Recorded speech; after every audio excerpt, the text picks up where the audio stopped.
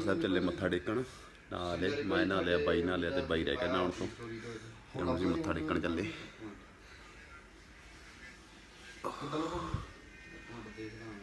S H ਹੋਊਗਾ।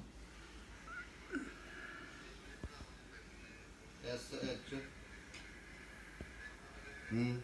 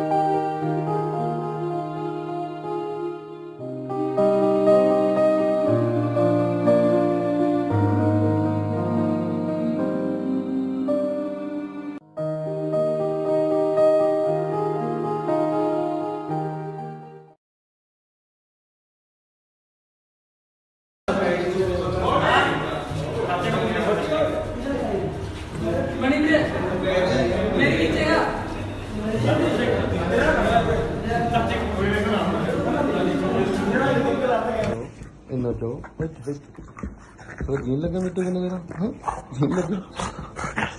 ਦੇ ਲੋ ਇੱਕ ਰਾਤ ਪੁੱਤ ਬਾਹਰ ਨਾ ਨਿਕਲੇ ਇੱਕ ਰਾਤ ਤੇਰਾ ਜੀਨ ਲੱਗਾ ਸਾਲਿਆ। ਕਿਵੇਂ ਰਹੇਗਾ ਮਿੱਟੂ ਬਿਨਾ? ਕਿਵੇਂ ਰਹੇਗਾ ਮਿੱਟੂ ਬਿਨਾ? ਕਿਵੇਂ ਰਹੇਗਾ ਦੇਖੋ ਹੁਣ ਆਇਆ ਮੈਂ ਗਿਆ ਉਹਦੀ ਅੱਜ ਰਾਤ ਮੈਂ ਆਇਆ ਨਹੀਂ ਘਰੇ। ਸੁੱਤਾ ਨਹੀਂ ਗਾ ਅੱਜੇ ਫਿਰਦਾ ਬਾਰੇ ਕਰਦਾ ਸੀ। ਡੇਢ ਗੱਲ ਦੀ ਆਊਗਾ ਉਹ।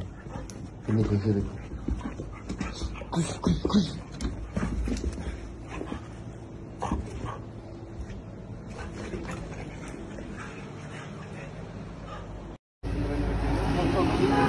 ਪਿੱਛੇ ਰੋ ਜੀ ਵੀਰੇ, ਮਨ ਪੂਰੇ ਆਈਏ ਅਸੀਂ। ਘੈਂਟ ਦਾ ਫੋਨ ਆਇਆ, ਮੈਂ ਕਿਹਾ ਵੀ ਚੱਲ ਦੇਖ ਲੈਂਦੇ ਹਾਂ। ਪਹਿਲਾਂ ਪੀਜੇ ਤੇ ਆਇਆ ਉਹਨੂੰ।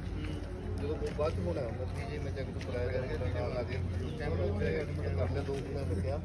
ਵੀਡੀਓ ਉਹ ਤੋਂ ਫਾਇਦਾ ਨਹੀਂ ਸੀ ਉਹ ਬਾਈ ਨੇ ਸਲਾਹ ਦਿੱਤੀ ਕਿ ਨਹੀਂ ਉਹ ਤੇਰੇ ਕੋਲ ਫਾਇਦਾ ਨਹੀਂ ਸਾਡੀ ਸੰਸਥਾ ਵੀ ਤੁਸੀਂ ਦੇਖ ਲਓ ਠੀਕ ਆ ਜੀ ਉੱਥੇ ਰੱਖ ਲਓ।